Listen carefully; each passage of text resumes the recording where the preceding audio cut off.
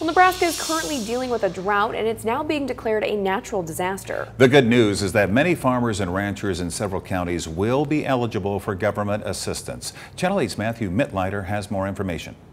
13 counties are now being declared primary disaster areas by the United States Department of Agriculture because of drought.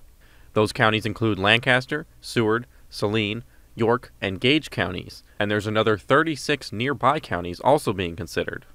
If you're a resident of one of those counties and have endured damages due to the drought, you can apply for emergency loan assistance from the Farm Service Agency. The Nebraska Farm Bureau says this will help farmers and ranchers to adapt to the harsh weather.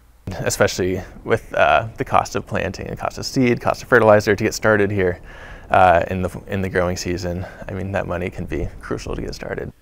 They say last year there was a decrease in farmers' yields because of droughts, which ultimately affects the money they make and our local food supply but there are ways to prepare for the harsher climate.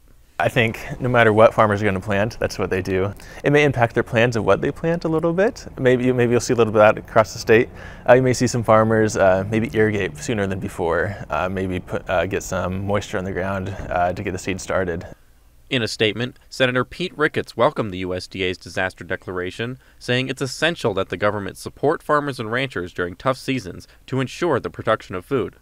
I spoke with the rural fire department who says right now our farmers are hurting and a wildfire would just make things worse. It's definitely dry and it wouldn't take much of a spark to uh, make something happen, you know, from lightning or a cigarette or a piece of machinery setting off a spark or a, or a mower. You know, even this time of year, burn barrels that aren't covered, you know, let something go and uh, gets in that grass. You'd be surprised how dry even some of this green grass is. It'll burn.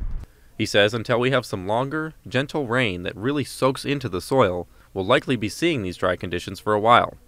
Reporting in Lincoln, Matthew Mitleiter, Channel 8 News.